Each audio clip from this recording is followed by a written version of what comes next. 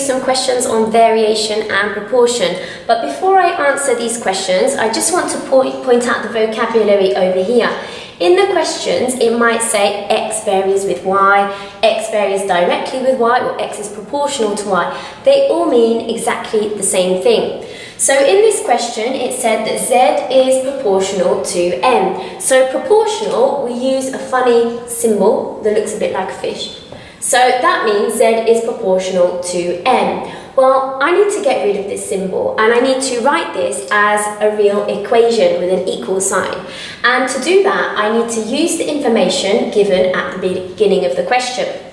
So when I change that funny symbol there to an equal sign, I have to include a constant and I'm going to call my constant k, but it doesn't matter which letter you use. So z equals km. So when you change that symbol, you have to add in this constant value.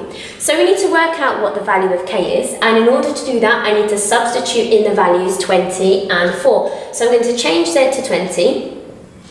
k we don't know yet, and m is 4. So looking at this equation, I can see k must be 5 because 5 multiplied by 4 gives me 20. So now I know the equation connecting z and n. Remember, the equation was z equals km. Well, now we know the value of k. I know my equation is z equals 5m.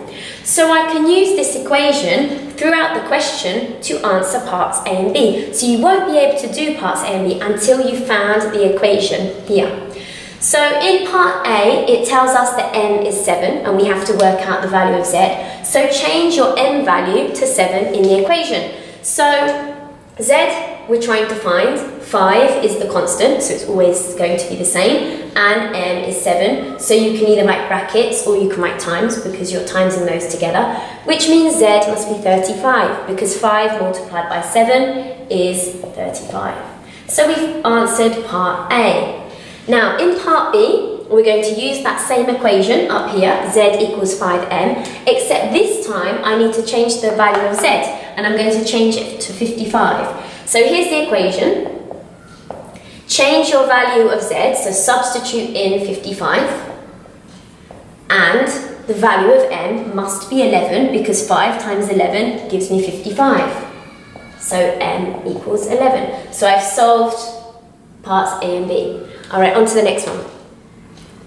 Alright, so in this second example, it says that A varies directly as R squared. Remember varies directly is just the same as proportional, just like in the last example. So I'm going to start by writing down A and then that proportional symbol with the r squared, just to show the connection between a and r. So we need to change that symbol to an equal sign, but when we change that to an equal sign, we need to now include a constant, which we call k. Now to find the value of k, we need to substitute in the information given at the beginning of the question. So we need to change a to 12 and r to 2. So I'm going to do that in this equation here. So I've got 2 squared there because r is 2 and a is 12. Now let's solve this equation to find x.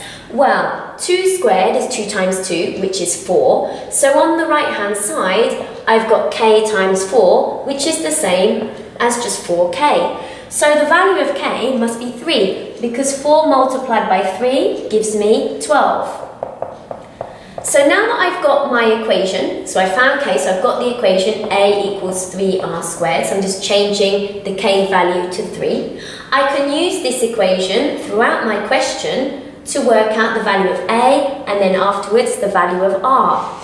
So in part A, it asks us to change r to 5. So a is what we're trying to find, 3 is the constant, so that stays the same and r is 5. So I've got 5, not forgetting the squared, and now I have to work this out. So 5 squared is 5 times 5, and 3 lots of 25 is 75. So A in the first part of the question is 75. Now in part B, we start by writing out that equation again. Remember, you need to use this equation all the way through the question. And this time, we need to substitute in the number 48. So I'm going to replace A with 48. And now I need to solve this equation to find the value of r. So the opposite of multiplying by 3 is to divide by 3. So I'm going to divide by 3 on the left-hand side of the equation and divide by 3 on the right-hand side. So when I divide by 3 over here, 3 divided by 3 is just 1. So the 3's just cancel, which is what we want to happen. And on this side, 48 divided by 3, well that gives me 16. So I'm going to write that up here. So I've got 16 is equal to r squared because that's what's left over on the right hand side of the equal sign. So we haven't finished because we need to find the value of r and it currently says r squared. So to get rid of the squared symbol, we need to do the opposite and we need to square root. So I'm going to square root everything in this equation. So when I square root 16, we have to be careful because there are two answers. When I square root 16, yes, we get 4 because 4 squared is 16, 4 times 4 is 16, but we also get a negative value because negative 4 squared is also 16 because negative 4 times negative 4 also gives me positive 16. So when I square root both sides, I have to remember there are two values for r one positive and one negative. And you can just write it like that if you want to. And when you square root the square, well that just cancelled the square symbol. Okay, so there are two examples on proportion or variation.